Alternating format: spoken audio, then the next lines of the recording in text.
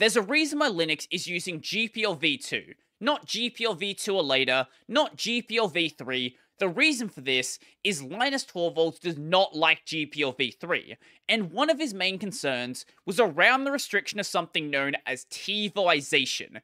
And you'll hear this term thrown around by FOSS people every so often, and you'll hear that it's one of the main reasons why GPL v3 was created. But what is TiVoization? So to understand that, we first need to talk about TiVo, because TiVoization is a reference to the practices performed by TiVo in the early 2000s, and it's very easy to have forgotten that TiVo ever existed. Formed in the late 90s, and even till today, continue to operate. I don't know anybody who owns a TiVo device, but they are still making things.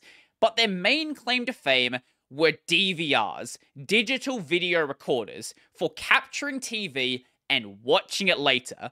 Oh, how times have changed. So, what TiVo did was very simple. They have this digital device, and it needs some form of software to run on it. So, why don't we use Linux and some of the tools associated with Linux? And that's exactly what they did. So, they made use of this GPL license code, which at the time, and in some cases still is, GPL v2, and then any of the changes they made to make things actually function with their specific hardware, they sent back up, conforming perfectly to the license.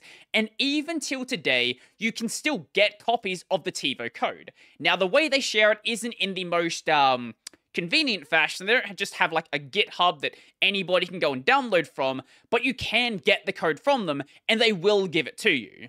This is not one of those many times where a company is using GPL code and then making changes to it, refusing to send things back, or straight up pretending like they're not using it in the first place. TiVo was doing everything they needed to do, but they did notice something extra they can do.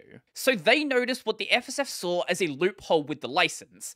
So, in the early versions of TiVo, it was basically a glorified Linux computer. You could go and take that version of Linux off and stick anything else you wanted on it, or you could just leave that version of Linux on there and start to modify it. You could do anything you wanted with it. But that's not really great for profits. That's not going to get people to go and buy the new version of TiVo.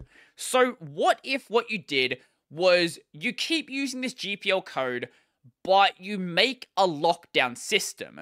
So if the user tries to modify the code, you have a DRM system there stopping the system from functioning. This is exactly what TiVo did, and from my understanding are still doing up until this day.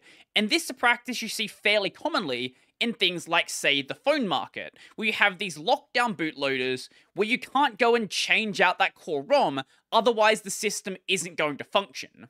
Now, I don't like DRM as much as the next guy, but if we're talking purely in terms of the GPL v2 and what TiVo did, they were still complying with the terms of the license. But Stallman still didn't really like this, and referred to devices like this as tyrant devices and proprietary tyrants, feeling like even though this is conforming to the license, it goes against the intention and spirit of the GPL. And this is one of the primary reasons why in 2006 the FSF drafted GPL v3. But initially, the Linux kernel devs were kind of concerned that it would stop legitimate DRM use cases. Now, that's probably sent sirens off in your head, but there is a reason for that. So, in later third and fourth drafts, a clause was changed to exclude certain business use cases. For example, things like voting machines and medical devices. This isn't a matter of a moral good that these things are open. In many regions, they legally cannot be. But even with those changes, some projects like BusyBox were still kinda concerned about GPL v3, leading to them dropping the or later clause. So or later in a GPL style license basically means that version of GPL or any newer versions going into the future. So GPL v3 or maybe a future GPL v4, GPL v5, so on and so forth. And in more recent years, I've seen some people worried about the or later clause as well, because it puts a lot of faith into the FSF, and you sort of have to assume that in a future version, they're not going to add a clause that you don't like, because if they do, now it suddenly applies even though that wasn't what you were intending to have there. Now, in case you don't know, BusyBox is another implementation of the Unix core utils. So things like ls, cd, all of the things that you'd expect to be there on a Unix-like system. And while they didn't need to drop the or later clause, because they stuck with GPL v2, this is one of the major reasons why when you see a car running Linux, it's also probably using BusyBox as well. Sure, some companies are just going to ignore the license and ship the GNU tools instead, but anyone who doesn't want the terrible PR from that and doesn't want to potentially get sued probably isn't going to do that. Now, as for Torvalds, some of you may not know this, but he's never really been a hardcore free software guy. There have been many points throughout history where he's butted heads with the FSF, and if anything, he's more in line with the open source crowd. And stopping TiVoization was never really a consideration while developing Linux. While he's not a fan of the practice and would much prefer things to be running on open hardware that anybody can go and modify the software on, it's not something he really cares that much to stop. Because the way the hardware is designed is up to the hardware designers, and the Linux kernel didn't always use GPL v2. The reason he used it is the original license he had wasn't exactly great it had a clause limiting the sale of the kernel, which, while he was a young university student, seemed like a good idea because, you know, you're a young university student, you don't have that much money, you kind of want to do things like that. But when GPL v2 came along, he felt it was a perfect license. He makes the software, and then you do anything you want with it. And if you make any of the changes public, then you must give them back. That's great. And he felt like TiVoization was an overreach of the GPL, and it should have been a whole new license. And at the time, relicensing Linux was certainly doable, if not exactly a productive use of time. Nowadays, though, while still theoretically possible, it's practically impossible because you need to get every single contributor who has code in the kernel to sign off on this happening.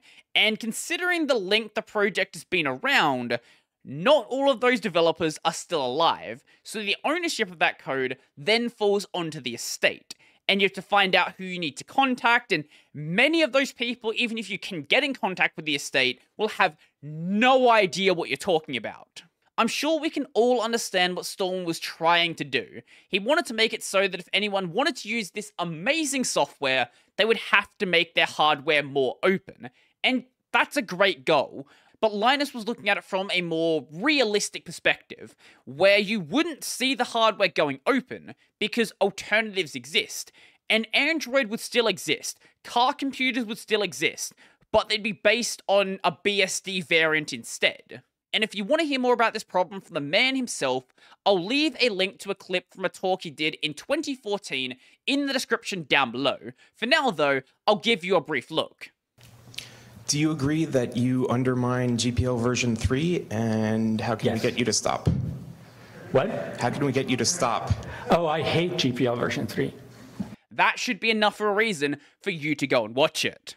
So let me know, do you think these lockdown devices are that big of a deal, or are you more in line with Linus, for example, and you make software, you don't make hardware, you just put it out there. If people want to use it, go and use it. That's the extent of our relationship. So if you like this video, I'm going to go and like the video. If you really like the video and you want to become one of these amazing people over here, go check out my Patreon, subscribe, star Liberapay, linked in the description down below. I've got a podcast called Tech Over Tea. I've got a gaming channel called Brodie Robertson Plays. That's going to be it for me, and I'm out.